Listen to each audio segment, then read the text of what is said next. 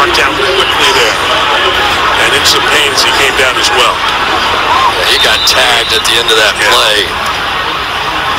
And the athletic training staff from Detroit out to look at D'Andre Swift, who has battled through injuries throughout this season. Somebody from the defensive interior, was that Jarran Reed, a flag came was by. thrown here too. Yeah. Yeah, a flag was thrown at the back end. There's a conversation going on amongst the players out there, and I think I saw a flag thrown late in the pile there. Terry, what'd you see? Clearly, clearly a forearm to the head, Mike. This is a foul for unnecessary roughness. I Don't know if that was the flag or there was uh, a lot of jawing going on around Swift as the athletic training staff was looking at him. after the play, unsportsmanlike conduct, number seven of the defense. Oh. Half distance to the goal, automatic first down. So that's on Quay Walker, and they missed the penalty you guys were talking about. But that was Walker, and that's LaFleur right to his rookie. You got to be smart.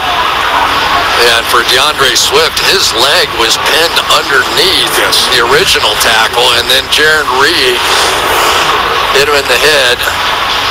Oh, he pushed a member of the athletic training staff. That's ridiculous. Wow.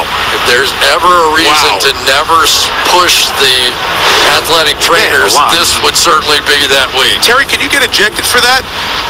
Absolutely. We've seen that on the sidelines with pushing or, or Yes. contacting coaches.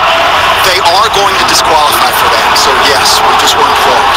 Okay, let's see if they uh, stop the game and get in here. It's at the five-yard line, and now the Lions have broken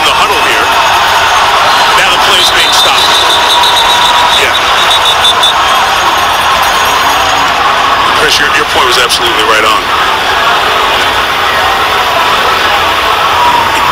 You know, that was the game we had, Terry, and it was Quay Walker in Buffalo. Number seven's unsportsmanlike conduct is disqualified. And the Green Bay fans, you understand why they're upset. Now, Brad Rogers is coming over to explain it to Matt LaFleur.